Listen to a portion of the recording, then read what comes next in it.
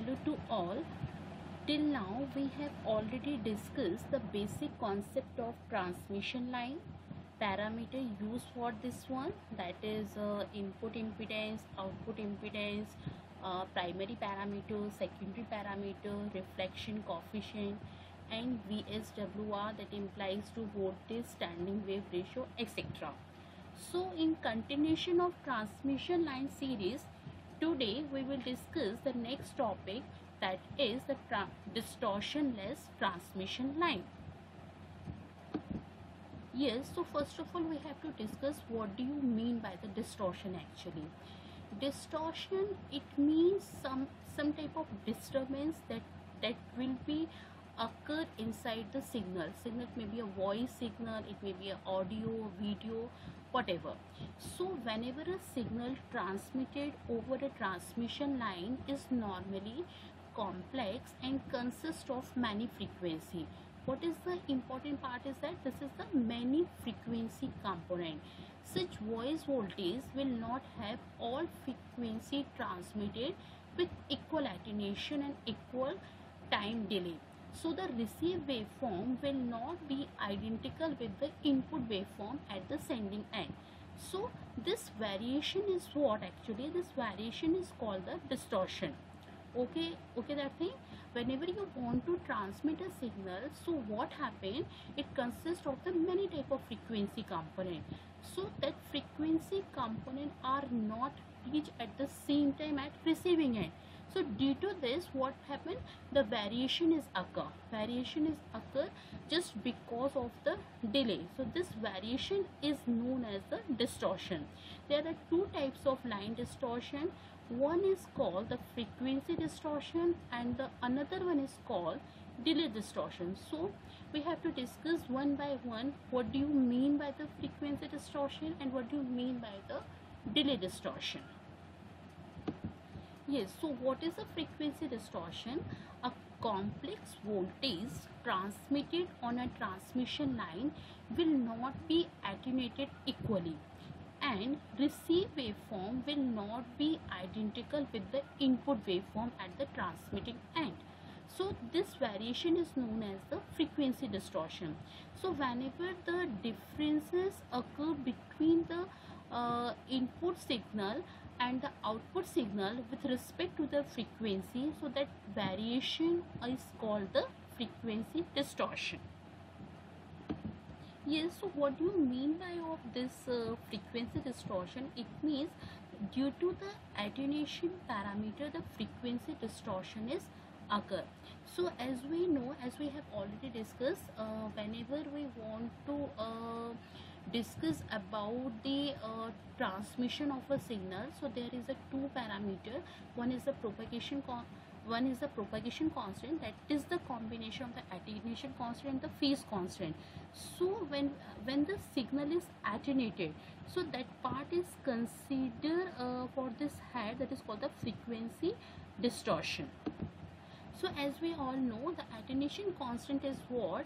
The formula the equations for the attenuation constant is what? Alpha equals to under root of rg1 minus omega square lc plus root of rg minus omega square lc whole square plus omega square uh, in bracket Lg plus Cr whole square divided by 2. So alpha is what? This is the function of the frequency and therefore line will be introduce a frequency distortion. So due to this term the frequency distortion is occur. Now the next uh, next step of distortion is what?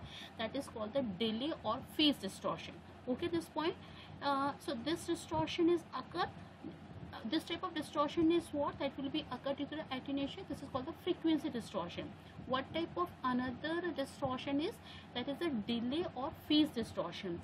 So for an applied voice voltage have the received waveform may not be identical with the input waveform at the sending end since some frequency component will be delayed more than those of the other frequency what what's the uh, reason for uh, this type of distortion is just because of some frequency component will be delayed more than those of other frequencies. So this phenomena is known as the delay or the phase distortion. So got at this point there are two types of uh, distortion or we can say two types of line distortion. One is called the attenuation. Uh, one is called the frequency distortion that that causes due to the attenuation. And another one is called the phase or delay distortion just because of this phase constant is it okay? So just uh, responsible for or we can say the equation or the derivation for the delay distortion is basically related to this phase constant so beta is what? So this is the equation for the beta. And beta is not a constant multiplied by a omega and therefore the line will introduce this delay distortion. Yes so uh, next uh, next part is how to reduce these uh, type of distortion that is a frequency distortion or the delay distortion. So with the help of the equalizer we can reduce this type of distortion. That's why uh, I have to written here. Frequency distortion is reduced in transmission of high quality over wire lines by the use of the equalizer at the line terminal. And for the delay distortion is of relatively less importance to voice and music transmission but it can be very serious for the video transmission. There is a uh, this type of distortion basically uh, create the more importance for the video transmission. But when we have to discuss about the voice and the music this is not as such uh, important as the frequency distortion. So this can be avoided by the use of the coaxial cable. Yes so in continuation of this topic we will move towards the distortionless transmission line. If a line is to have neither frequency nor delay distortion. Till now we have we have to discuss there are two types of distortion. One is called the frequency distortion and another one is called the delay distortion. So if a line is to have neither frequency nor delay distortion then attenuation factor alpha and the velocity of propagation v cannot be a function of the frequency. So what is the relation between uh, the omega beta and v is that uh, as we have uh, we have already know that if v equals to omega over beta then what is the value of the beta is beta must be a direct function of frequency. So this is the formula for the beta. For beta to be a direct function of frequency then the term what is this term? This one is rg minus of omega square lc whole square plus this must be equal to rg plus omega square lc whole square. Is it okay? Yes uh, why we have to equal this term is equivalent to rg plus omega square lc so whenever we have to put this condition in uh, here then what happened? This term is replaced by this term. This is what? That is the rg plus omega square lc then what happened? Uh, this term is cancel out omega square lc and this uh, sorry uh, this term is cancel out rg and rg this term is cancel out and the omega square lc and the omega square lc has become the two times of omega square lc only. So after putting this condition then beta is become the simple function of the omega. Here the v is what? This is the phase velocity. So phase velocity uh, this is what? This is the ratio of omega over beta. So omega is there and beta is what? After putting this condition then what happened? Beta is become the simple function of uh, omega. Then omega and omega is cancelled out. So what happened is uh, v that is the uh, that is the velocity is what? The phase velocity is what? This is the function free from the frequency or it become the constant function. So there is a this is the condition. Basically this is the uh, condition we can say uh, on behalf of the uh, on behalf of this condition we can calculate what is the condition for the distortionless transmission line. So we will see uh, how is it uh, whenever we have to solve this equation then what are the condition that we get for the distortionless transmission line? Yes so you have to put this uh, whole value is equivalent to omega square lc minus rg i have to uh, written here uh, this one is rg minus omega square lc whole square. Just uh, open this bracket. So r square g square plus omega omega to the power 4 l square c square minus of 2 times of omega square lc rg plus uh, similarly you just open this bracket and this is what this is equivalent to this one. So this is the r square g square plus omega square l square c square and this value yes after solving this equation then what happened? You just get the equation is lg minus cr whole square is equivalent to 0 so what is this this is the lg uh, lg equals to cr and due to this r over l is equivalent to g over c. So this is the basically this is the condition for the distortionless line. So what is the condition for the distortionless line? Whenever r over l is equals to or we can say the ratio of r to l is equivalent to g to c. This shows the condition for the distortionless transmission line. Yes so for uh, calculating the condition for distortionless transmission line. Now now next we move towards the calculation for the propagation constant uh, calculation for the phase constant for the distortionless transmission line. So this is what now since we already know the con propagation constant is what so this is the equation for the propagation constant. You just put the condition here. So what is the condition uh, r you just take the l common uh, from this equation. So l is there r by l plus g omega. Similarly you just take the common value is what? This is the c so g by c plus g omega.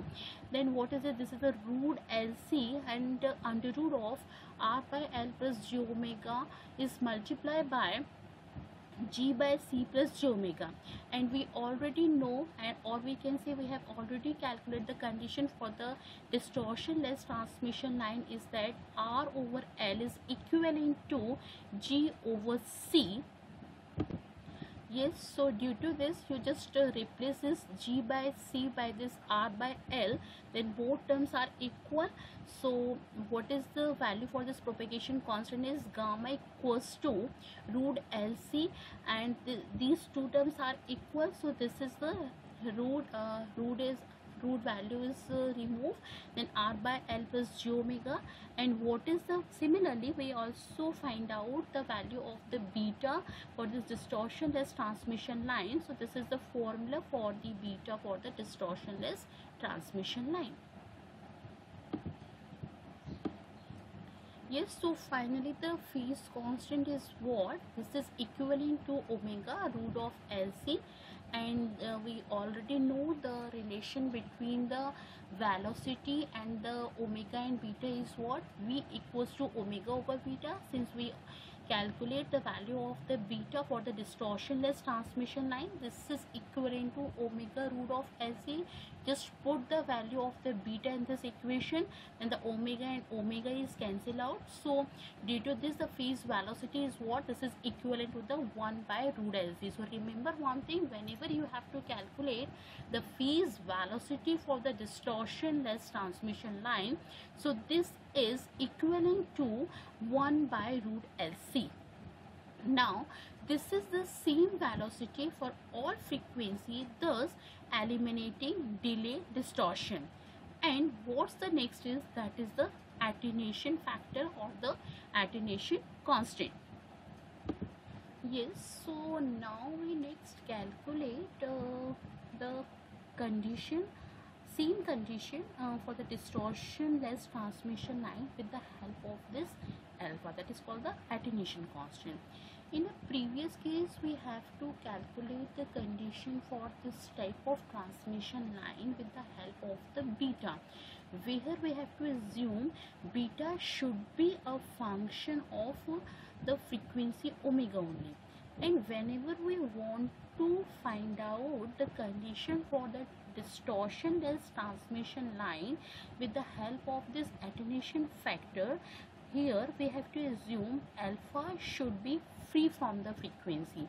So whenever this alpha that is the attenuation is free from the frequency it means the frequency variation is not affect the attenuation constant. So we will see uh, whenever we uh, take this alpha then what is the condition for the distortionless transmission line uh, yes so to make a alpha is independent of frequency the term this one rg minus omega square lc whole square plus omega square lg plus c uh, r whole square is falsely equivalent to this term same as in case of the beta. So with the help of this condition what is the condition that will be occur for this distortionless transmission line? Again same. This is what l over c that will be equivalent to r over j. This will make alpha and the velocity independent of frequency simultaneously. Okay? So to achieve this condition it require a very large value of L since G is small. So what happened in this case? Yes, so uh, the alpha is equivalent to what? If you just put the condition here, Rg minus omega square Lc plus, this is equivalent to Rg plus the previous factor is equivalent to this value Rg plus omega square Lc whole square.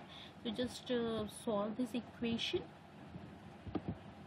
yes so finally alpha is what? This is equivalent to root of rg. So it is independent of frequency. Thus eliminating frequency distortion on the line. Okay so what happened in this case? Alpha is what? This is equivalent to root of rg. Alpha is this is the attenuation constant. And this uh, give the value of is equivalent to root of r into g. So these two factors are free from the frequency. So due to this the eliminating the frequency distortion on the line.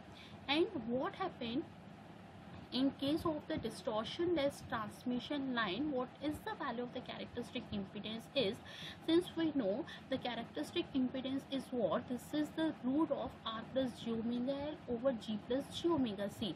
So when we take the l is common and c from this equation so r by l plus j omega and c g by c plus j omega.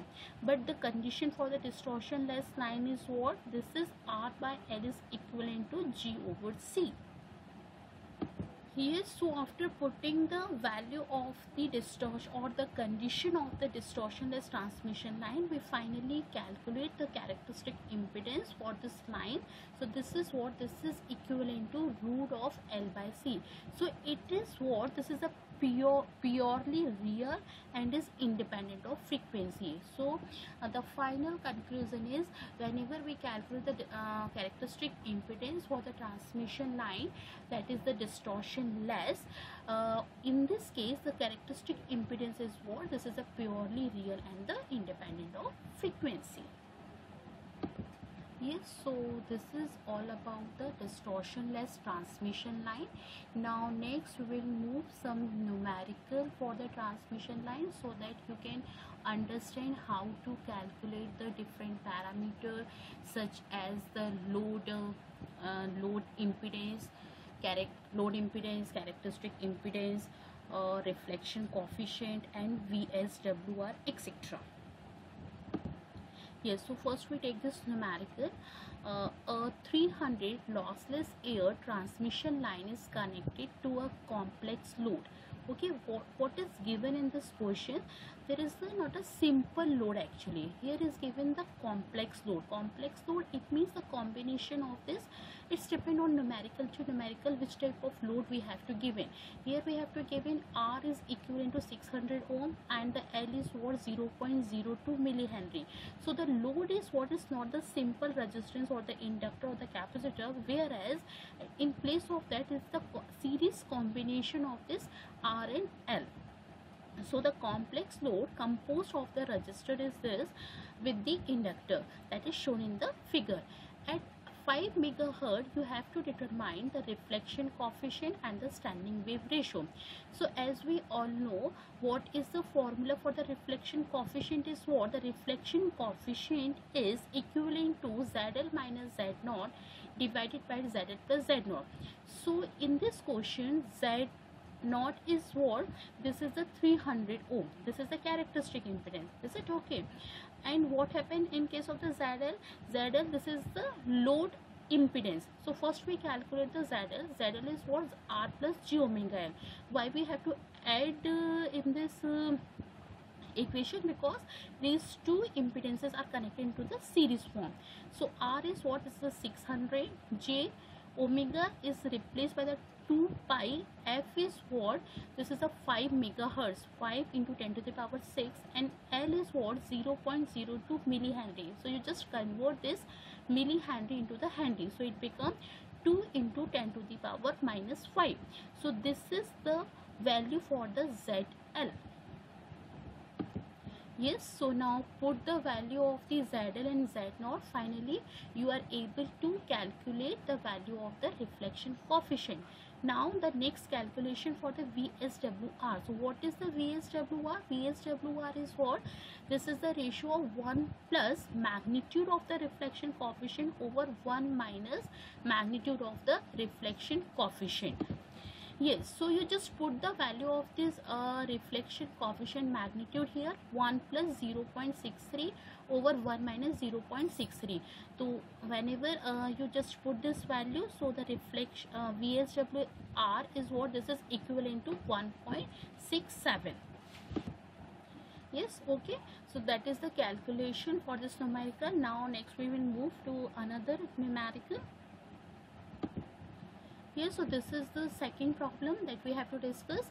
A 50 ohm lossless transmission line is connected to a load composed of composed uh, of a 75 ohm resistor in series with an unknown capacitance okay?